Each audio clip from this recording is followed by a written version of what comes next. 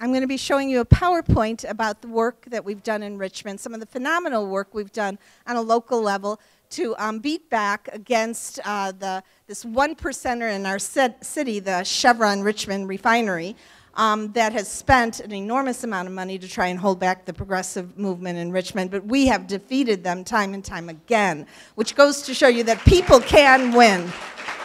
So um, I'm hoping we can dim the lights a little bit. So Richmond, California, we're a local community defining our own destiny. Next. So uh, this PowerPoint is divided into three parts. Um, we are really rising from um, uh, a situation and a history of despair and scarcity in Richmond. Uh, I've divided this PowerPoint into three parts. First, the Chevron uh, versus Richmond, Richmond versus Chevron, I should say, um, where we stood up to the oil giant in our city. The second part is about income inequality and some of our successes and ongoing challenges. And the third part is housing challenges, um, foreclosure prevention and rent control, something that um, is a very recent thing that we're working on in Richmond, have some challenges with that. So next. Next. So, um, in many ways, our 2014 battle was ground zero with Chevron, and it has a global impact because Chevron is the largest, um, the single largest greenhouse gas emitter in the state of California, right there in our city, our uh, Chevron Richmond refinery, 112 years old, been polluting our community for years. Next.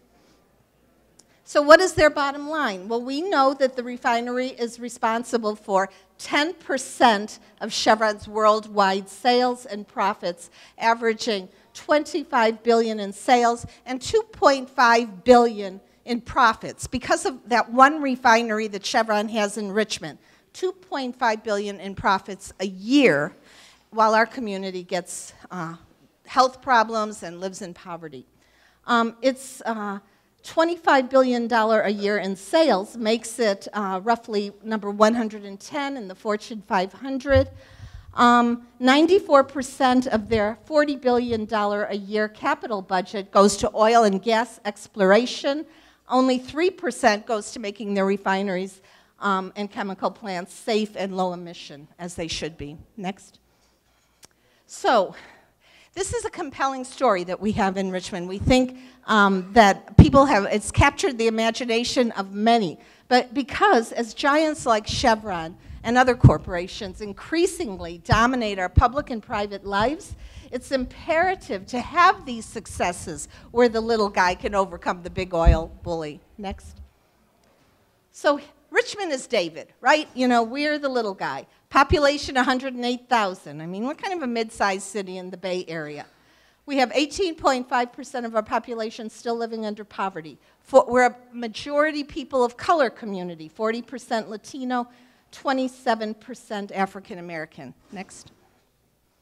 So as I said before, it's, uh, the, first of all, Goliath, of course, is Chevron Richmond Refinery, uh, single largest greenhouse gas polluter in California. Um, actually, now this, uh, this figure is going up to 5.8 million tons of greenhouse gases each year, um, and so many other co-pollutants that uh, come into our air and into our lungs in Richmond. Um, it produces 40% of all the greenhouse gases in the Bay Area and 80% of Richmond's pollution. Next. So, we stand up. Richmond stands up to Goliath. David stands up to Goliath. We have, we've done it. We've done it time and time again. We have climate marches, climate justice marches. We stand up for, um, for um, um, environmental justice. Um, just have, we had 3,000 people come to Richmond um, to protest um, a year after a major fire, and I'll talk about that in a bit. Next. So this is a, a, a, slide about the building environmental movement in Richmond, where people come to Richmond, not only from Richmond, but from outside of Richmond. 3,000 people protested Chevron in August of 13, and then hundreds every year. It's on the anniversary of a major fire that we had in 2012. We have these um, events and activities. The first one, the first anniversary was major. We had, you know, like I said, 3,000 people marching from Richmond BART to the refinery, and it was a great, great uh, event. Next. So, after decades of Chevron domination, ordinary people in Richmond have organized and stood up to the oil giant. And we know when spiders unite, they can tie down a lion. That's an Ethiopian, Ethiopian uh, proverb. Next. So, one of our major victories was this past 2014. We ran a slate. I had termed out as mayor after eight years as mayor, and I decided to run for city council so I could continue the work um, that we had started and that we were transforming um, Richmond um, by way of. Um, so myself, Jovanka Beckles, and Eduardo Martinez were uh, what we called Team Richmond versus Team Chevron, because Team Chevron had their candidates out there too. Um, so we had, back a bit. So um, these are just some of the victories. We had a, um, my victory for council, my victory for mayor, and we had another ca candidate for a while who won his race, Jeff Ritterman, and then um, uh, Jovanka won her, her race um, in 2010 as I run my reelection campaign. And then our latest victory, where we had a clean sweep. All our progressive campaigns won. and, and all of Chevron candidates lost. so uh, we, we know it can be done. Next. So, over the past 10 years, Chevron's control of the city government has been challenged and released. Now, how have we done that? In two ways by a grassroots movement, and that also includes coalition building with other um, organizations. But our Richmond Progressive Alliance is, is an organization that likes to, that works at tying things together. Not only do we run candidates and endorse candidates who take no corporate money, but we also um, uh, build that uh, kind of, we, we're that glue that brings people and organizations together. So the other thing is, of course, the election of council candidates or uh, council members, and when I was mayor, my election, um, who cannot be bought. And that's very important in a city of that has had decades of corruption prior uh, to a decade ago. So uh, we were outspent 20 to 1 in 2014. And like I said, uh, we all won, Chevron lost. Next. So, to give you an idea of how much this local campaign was facing, um, Chevron spent, this is on a city of 108,000. Chevron spent over $3 million to try and elect a pro oil, anti environmental uh, candidate slate in November 2014. And the reason they wanted a pro Chevron city council would be to settle we are suing Chevron, the city of Richmond, and I made sure of that when I was mayor, that we needed to sue them for the fire of 2012, which sent 15,000 people to local hospitals for respiratory treatment. So it was a big thing. It, it spread all the way to San Francisco. So um, we, uh, the city council, I had to work hard to get my colleagues to join me in that, not my progressive colleagues, but the others um, to uh, make sure that uh, we did file a lawsuit. So Chevron, of course, wanted to elect a pro Chevron city council who would settle the lawsuit for pennies, right? But we, we wanted something different. We want to hold them accountable. Next. So, um, just to let you know what they did with that $3 million, they bought up every billboard in town with attack pieces on me and my, my council um, colleagues that were running with me, and they had, you know, mailers just, just inundating people's mailboxes every single day for two months uh, prior to the campaign. They, they were all over social media. They, they had their own fake newspaper. They were everywhere trying to convince people. But we were out there knocking on doors. We were at community events. We had mailers going to people's households, but we made those real, we made good use of our money. We made sure that uh, we had a newspaper called the Richmond Sun, you know, telling all the good things happening in Richmond that progressives were responsible for, as well as, um, you know, promoting our candidates. So we made good use of our money. They just really turned people off with just overkill on all their materials and the really ridiculous attacks that they were making. It was, it was really outrageous. They were attacking me like I was never in Richmond. It was, there was one uh, billboard that was all, in fact, it was in Berkeley as well as in Richmond. They, they went beyond Richmond to portray me as someone who um, was, you know, a globe trotter because I went to Ecuador for five days, mind you. Um, to see the uh, to see the contamination of the Amazon, uh, the Ecuadorian Amazon rainforest that Chevron is responsible for cleaning up, and so you know they they try and uh, distort the truth, but, but we, we made it clear to people uh, what, what they're all about and what we're all about. So, what is it that we want from Chevron? We want to implement, they have a retooling of the project. We want to make sure that project makes the refinery as clean and safe as possible. We want sustainable quality jobs and, of course, transitioning to um, renewable jobs. Uh, we want, and training of the workers as well for uh, renewable jobs. We want damages from the 2014 fire. Next. I'm sorry, 2012 fire. Um, so these are local struggles, but they gain national attention. We can make a difference from the local level. Our model, we think, is replicable to an extent. Every city has its own issues, right? Not everybody has a Chevron, you know, and you know, we're lucky, I guess, because we, we could wage a, a, strong battle and really reach people about the corporate culture we're facing. But, you know, there's bad developments, there's, all, and there's other corporations that other cities can fight. And uh, so we think our model is replicable and bringing people together, coalition building, grassroots movement building. We made national attention, New York Times, PBS, Bill Moyers, um, LA Times, uh, Rachel Maddow, uh, Maddow show. So we, we got around. Uh, uh, people thought we were really um, doing something unique by fighting this big oil behemoth. Next. So um, our basic strategy, like I said, is volunteer participation um, and starting early. We started actually in 2013 for the 2014 campaign. We had a campaign called I Love Richmond. Uh, we had people going door to door, having people sign uh, petitions that they stand with me, the mayor at the time, saying they love Richmond and we will not forget the Chevron fire. So on one side of a beautiful card said, I love Richmond, and the back was a picture of the fire. We will not forget. Chevron stop polluting our air and our elections. So we educate, you know, all through election years and non-election years. And we use our money creatively. Here's uh, some of our candidates, uh, so, some of our campaign workers. We had hundreds out there.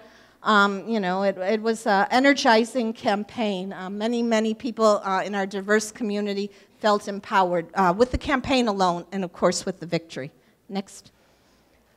Next, please. Next. Is it not working? it's stuck. so, all right. So, and the other thing we do is we bring out the successes. I mean, I, I've been, I'm in my 11th year as an elected official in Richmond, so we have done a lot, and it's been by way of this movement and this coalition building. One of the things we've done is reduced crime significantly. I mean, Richmond had, in the 90s, had 61 homicides. The first year I was mayor, there were um, 47 homicides. By the time the last, in 2014, we had 11. Now, that's a 75% decrease, the lowest homicide rate in, in 33 years. So, we, we addressed the roots of the violence. We had outreach teams going um, out to the neighborhoods, former, formerly incarcerated individuals who can talk to the young men involved in violence. And um, violence prevention um, activities and programs. So we made a difference by not just having police out, and we made sure we had a community involved police force. So um, we made some changes. Next. So we, we think that in 2014, Richmond was the place where David confronted today's Goliath and won. But next. But a community defining its own destiny has more battles to fight. Next. There's some people uh, standing up to Wall Street outside of City Hall. We know income inequality is uh, something we, we have to change in this country, and how do we do that on, the, on a local level? Next.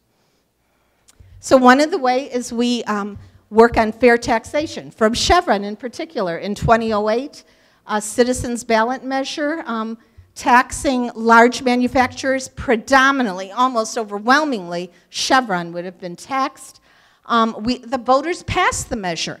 Unfortunately, the courts overturned it, um, at, but on a technicality, and, and we were getting ready to put out another ballot measure to tax them.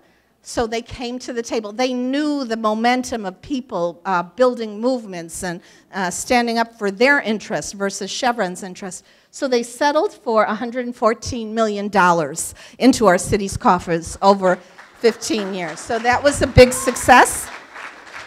Next. Next. Okay. Um, we passed a minimum wage increase. Of course, this chart shows all, um, all kinds of prices going up and all kinds of uh, um, situations where the, the working families of Richmond and other communities have to pay more from their pockets, but they're not getting any more in their pockets. There's no minimum wage increase, and the magnifying glass is looking for it. So we in Richmond said, we're going to do something about it. So we did pass um, a minimum wage increase that'll go up to $13 an hour in a phased in approach, giving our small businesses a chance to uh, kind of prepare for that. So uh, we think, and of course, we want it to go up even higher. Next. Um, it's in, in three, three years. And then after that, a CPI increase every year after that. But, you know, we, would, we didn't have the votes for any higher. We may have it going forward, and we would like to go higher. Um, Worker-owned co-ops is another way. This is our uh, Latina, uh, Fusion Latina uh, catering service. Uh, workplace democracy, very important. Next. Next. I'm going to go kind of fast here because I know my time is limited. We have a Richmond Municipal ID. We have a large immigrant community. A third of our um, community is our immigrants. And um, we uh, made sure we have an ID that is open to everyone in Richmond, regardless of immigration status, incarceration status, homeless status, etc. So here is, then we go to the housing crisis, which is um, ongoing in our midst as we speak. A lot of wealth was lost over the recession. Next.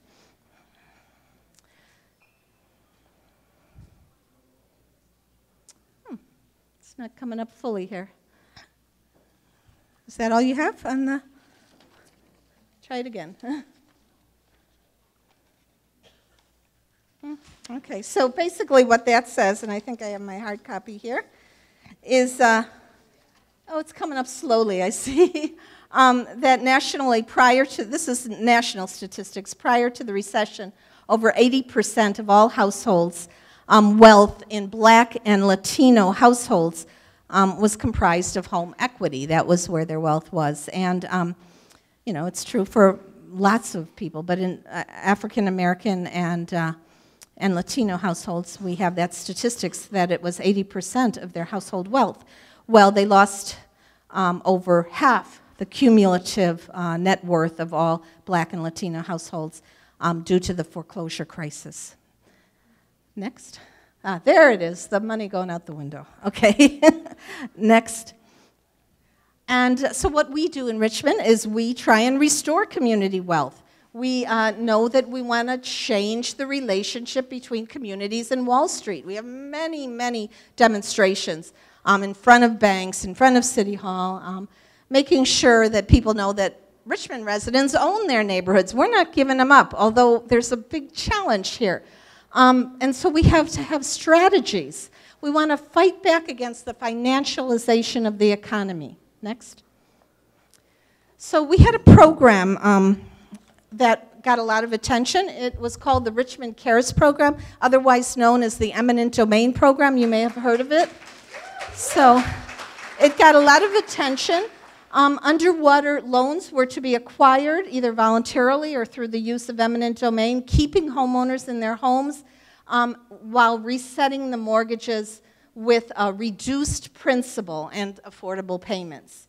So we did a lot of work on that. Next, really, really captured people's imagination because it's it's really, really important that uh, every economic economist of every stripe understands that the way to solve the housing crisis is to reduce principal. And when the banks are holding on to the, the um, mortgages, the underwater mortgages, and forcing people out, um, it's not helping, helping our neighborhoods. So uh, we really wanted to do this. Next, that's some of the uh, news we had to, uh, we got as a result of this program.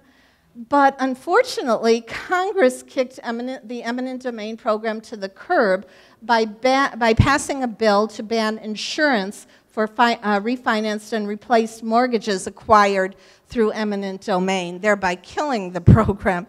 So we kind of put it aside. It's still there. I mean, we could still do it if we can, you know, work and change this, this bill from Congress. Um, but right now it's kind of put on hold. But, next. We have a new strategy. And it's uh, the same principle, keeping people in their homes to, but while, we, while their principles are reduced. And we utilize the help of good actors, nonprofits that uh, have a, a good mission. And what we are doing as cities, and it's not only Richmond, other elected officials in other cities are, are joining together for this, is to help these nonprofits. They're financially, um, they're financially oriented nonprofits who have acquired significant amount of money. So we're helping them, or we're urging HUD and Fannie Mae and Freddie Mac to um, sell the underwater mortgages and the delinquent mortgages to these nonprofits because otherwise they get bought out by Wall Street speculators who don't have our residents or our neighborhoods' interests at heart. The nonprofits will indeed reduce the principal, keep the homeowners in their homes, or if it's already foreclosed upon and it's vacant property, they will create affordable housing. So we are trying to work with, with these good partners. Next. So the challenge is that Wall Street private equity firms and hedge funds are getting to these pools of delinquent mortgages first and outbidding the nonprofit. So that's a challenge. Next. So what our plan is to have city governments step in and urge the, these um, major investors to sell the troubled mortgages to the partner nonprofits. And we have, there are community groups and others that are really rallying around this to put pressure on investors and build a public awareness campaign. Because we have a choice. Our housing is sold to Wall Street speculators, or our troubled mortgages get in the hands of a nonprofit partner. Next. Uh, I'm going to go a little quickly here. Um, just this is just saying how we're doing this. Um, we passed resolutions. Uh, Richmond was the first, and other cities have. Uh, the U.S. Conference of Mayors passed a resolution supporting this effort. And I'll be in Washington, D.C. next week um, to meet, and there'll be like 15 to 20 other elected officials and community leaders that'll be meeting with HUD and meeting with Fannie Mae and Freddie Mac representatives to urge them to sell, and the nonprofit leaders will be there as well. So we're going to, you know, start this uh, really high pressure, um, uh, campaign to get them to do the right thing. So now we have a, a very current thing um, in terms of uh, what is happening in Richmond we have a, uh, we passed a rent control and just cause for eviction ordinance. I know in LA you have rent control. Well, we passed the first ordinance in 33 years um, in California on this level. So it's been dead for a while. You know, it's great for those cities that have, have had it in place, and it's wonderful. We just wanted to join all of you. And so um, we did. We got a majority to pass it. But unfortunately, um, the 30 days before the ordinance could go into effect, the California Apartments Association did a fraudulent petition gathering process where they gathered all these uh, signatures, um, paying $20 a signature, which is unprecedented. And I mean, people, signature gatherers, I guess there's like a profession of signature gathering, and people converged on Richmond from all over the state. So it was a high pressure uh, campaign, and they lied to people. They said it would strengthen re uh, rent control, when in reality it's to uh, suspend it. So if enough signatures qualify, um, Go back a bit. If enough signatures qualify, a well-funded landlord campaign, California Apartments Association, will have stopped temporarily the decision of a democratically progressive, independent elected council to provide tenant stability in a gentrifying market. Over half of our residents in Richmond are renters. And the prices in the Bay Area are just skyrocketing, in Richmond as well, but we want to stop it. So, they're not going to stop us. We will not be deterred. We will win this at the battle. So, at the ballot, and it will be a battle because the California Apartment Association will no doubt spend a lot of money. They spend $100,000 in a month to uh, get the signature gathering process um, underway. Next. So, um, basically, we're uh, committed to gain greater community control over our housing, our neighborhoods, and our lives. Next. So, we're one city in Richmond, and that's what we're working on. We have our challenges. You know, the community isn't always in agreement on everything, but that's our goal one Richmond and also one world. Future victories will require growth of our movement beyond Richmond. We know movements are everywhere. The Black Lives Movement we connect with, we're inspired by. Um, you know, every other movement that exists in cities or nationally that uh, has the community's interest at stake, we're there and we want to unite. Uh, we know that Citizens United must be reversed, right? And uh, our, our, democracy is what's at stake here. So uh, we want to unite with all whose vision matches ours and whose efforts will help in the challenges ahead. And we all know, as Frederick Doug Douglass said, no progress without struggle. So thank you all for being a part of this movement. thank you.